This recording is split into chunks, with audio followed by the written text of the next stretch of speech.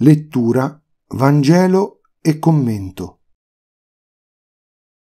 Dal libro del profeta Ezechiele.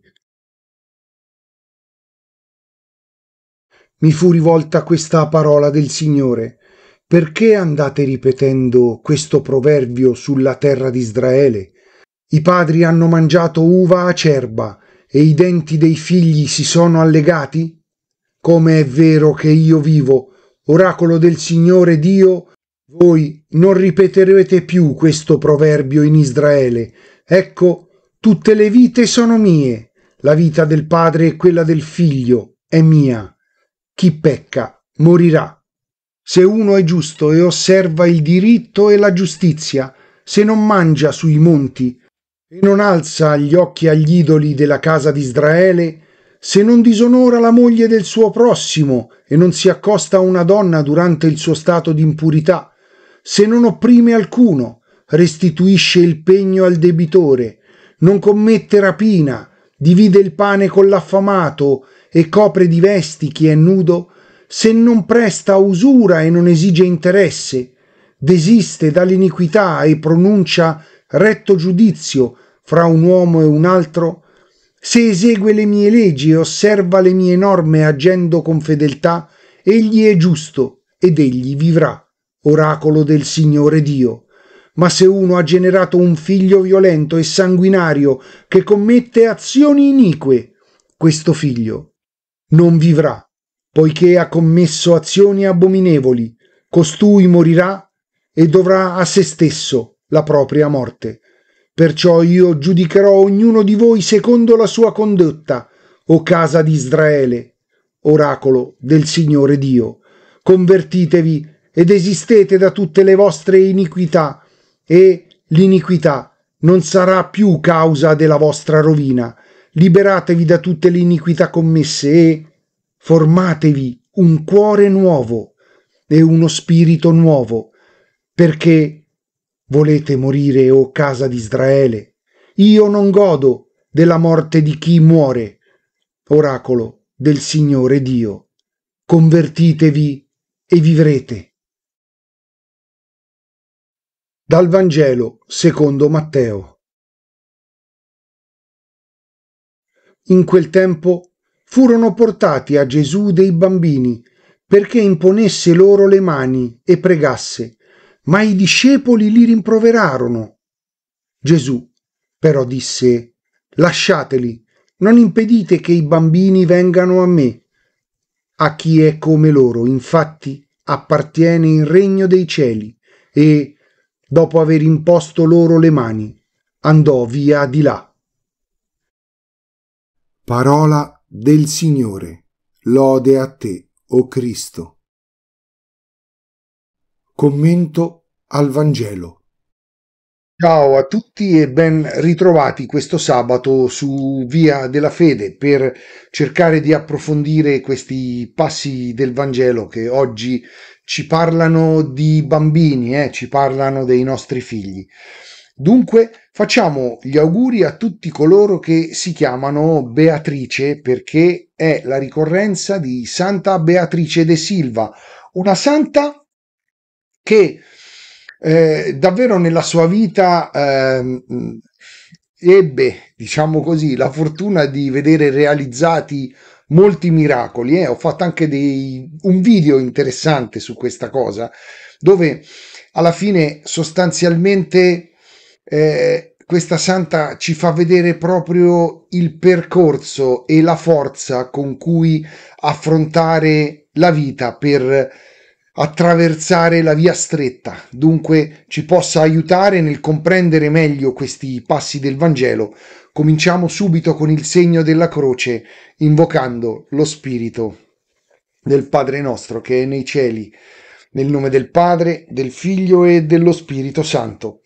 Vieni, o Paraclito, donaci la tua intelligenza, donaci un raggio della tua luce per comprendere questi passi del Vangelo che ci avvicinano sempre di più al nostro Padre celeste. Padre, donaci anche oggi il tuo amore perché siamo davvero molto bisognosi. Quest'oggi dunque il Vangelo parla di qualcosa che abbiamo davvero molto a cuore, eh, che sono i bambini, sono i nostri figli, dunque sono il nostro futuro. Comincia proprio dicendo così. In quel tempo furono portati a Gesù dei bambini perché imponesse le mani e pregasse. Ecco, ci dobbiamo chiedere ora in questa semplice frase chi è che porta i bambini. E quando portiamo questi bambini, per che cosa li stiamo portando? Dunque riusciamo a comprendere come eh, il Vangelo ci indica qualcosa da fare, cioè portare questi nostri bambini a Gesù. E dice perché portarli? perché possa imporre loro le mani e pregare su di loro. È una cosa interessante, perché interessante? Perché quando uh, focalizziamo la stessa cosa sui grandi, noi ci aspettiamo un sermone, ci aspettiamo un miracolo, ci aspettiamo nell'incontro con Gesù qualcosa di strabiliante, mentre il bambino non è come noi, cioè il bambino è mh, davvero qualcosa di molto semplice.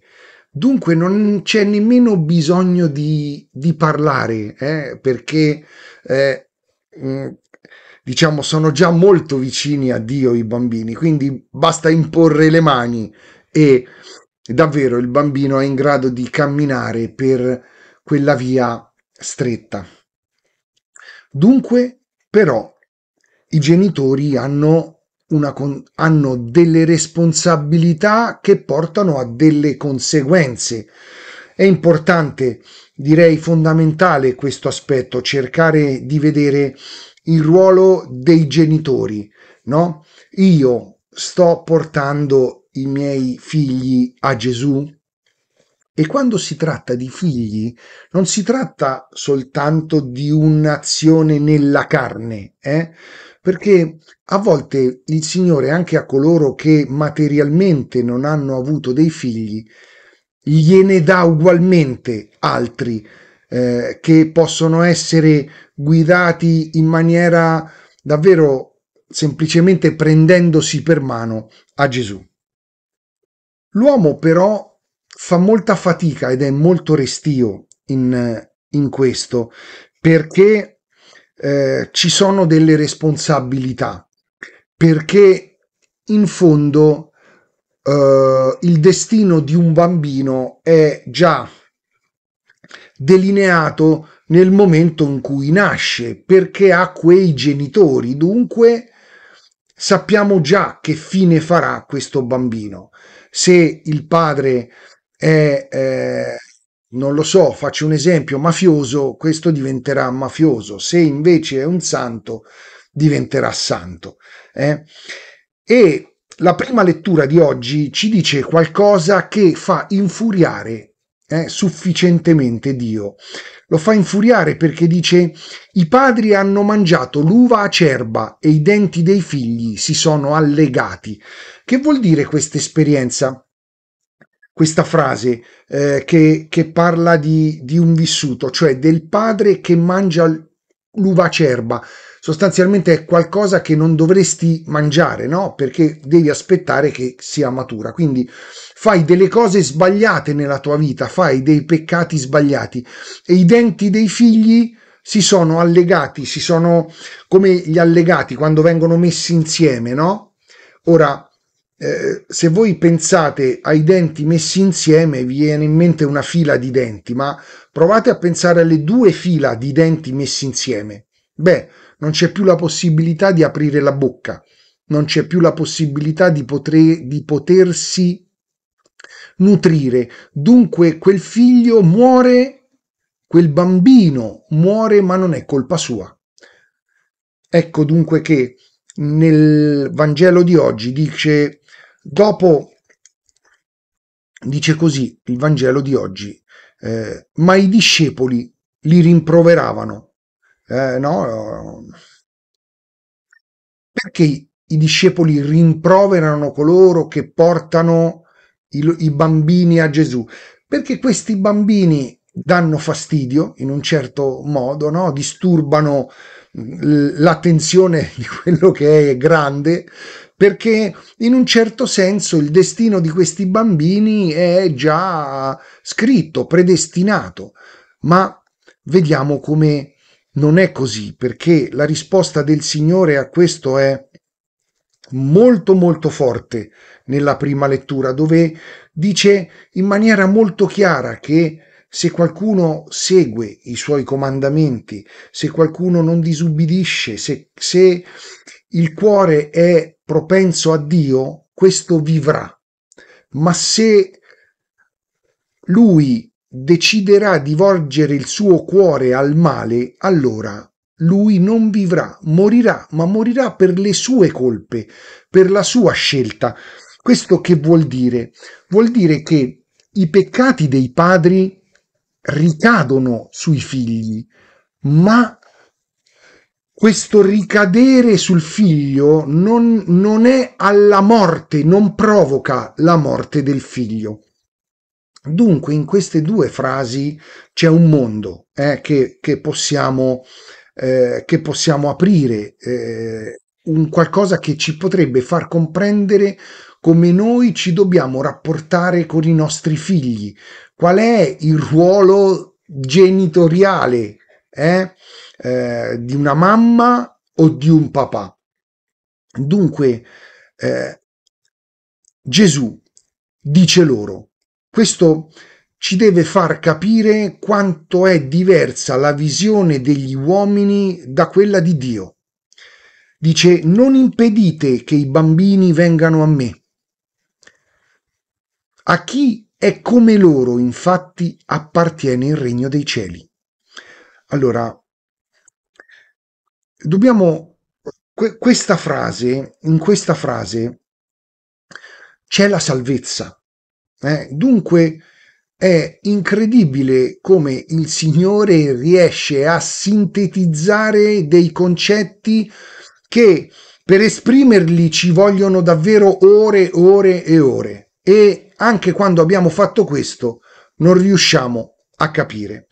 Ora, diciamo così, eh, perché il Signore dice non impedite ai bambini che vengano a me?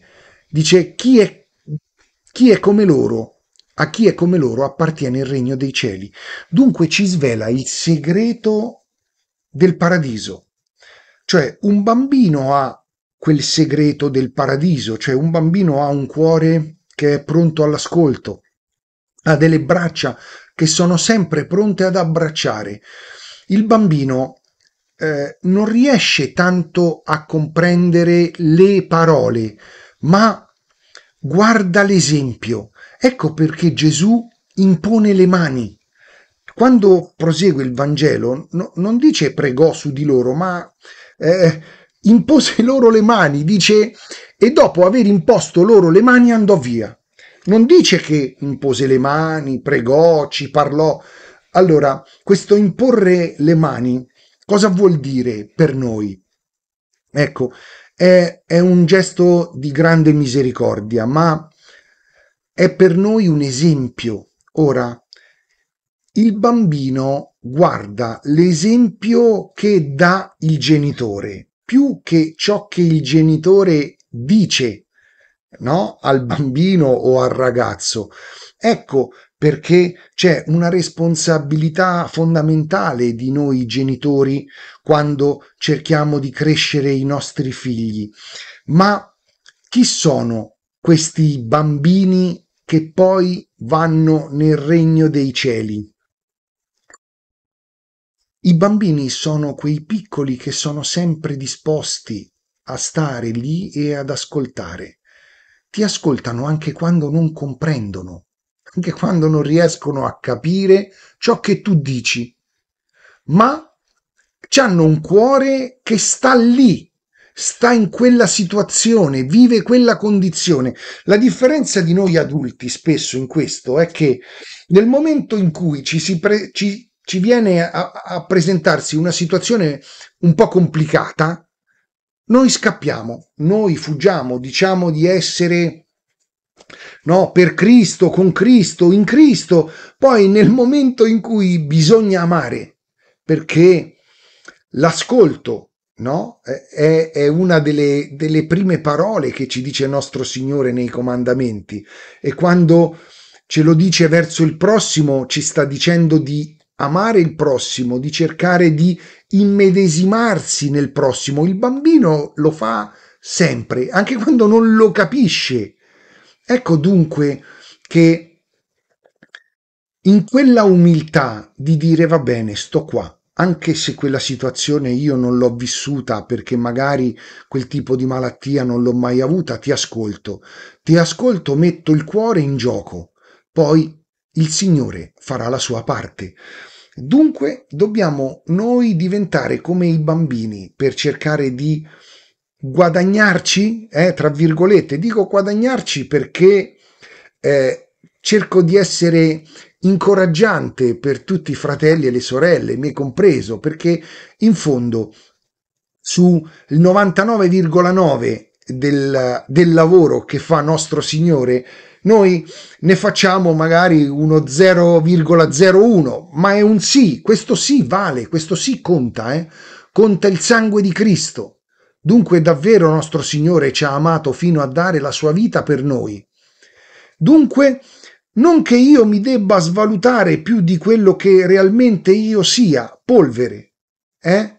ma cercare di comprendere che questa polvere, se sostenuta dalla grazia di Dio, beh, diventa un po' come il roveto ardente, no? Questo, questo roveto che è fiammeggiante e che continua a ardere, ma che non si consuma, continua a bruciare, ma non si consuma.